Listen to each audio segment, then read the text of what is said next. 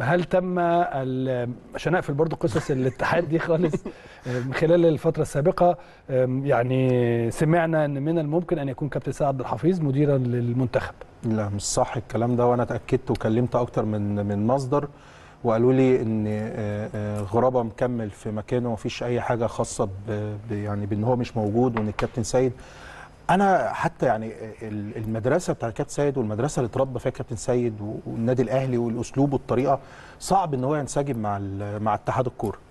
فأنا كنت شايف الموضوع صعب جدا وحسب معلوماتي مش ده فكر يعني ال- الكابتن سيد حفيظ الفترة دي خالص.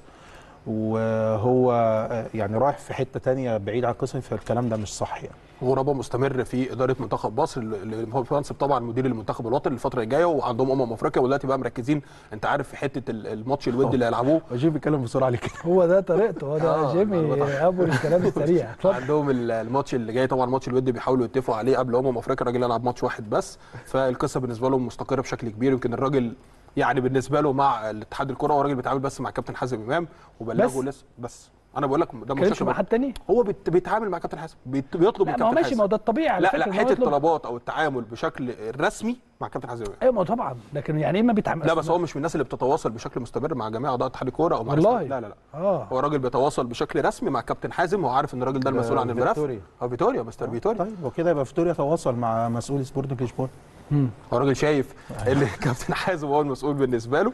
فالراجل علشان كده طبعا هو بيتواصل معاه دايما. والفترة اللي اللي فاتت دي يمكن هم شغالين في حتة الماتش الودي. الراجل مش عاوز يلعب أكتر من ماتش ورفض. عدد كبير جدا من الماتشات قبل أمم أفريقيا ودي بطولة مهمة جدا لمنتخب مصر. يمكن رفض نيجيريا رفض الكاميرون رفض كوت ديفوار رفض السويد كوريا الجنوبية عشان عايز يلعب ماتش مع فرقة من التصنيف الثالث في أفريقيا قبل ما يسافر على طول إن شاء الله يوم المعسكر هيبتدي يوم ثلاثة وبعد كده هيسافر يوم 9 إن شاء الله لكوت ديفوار.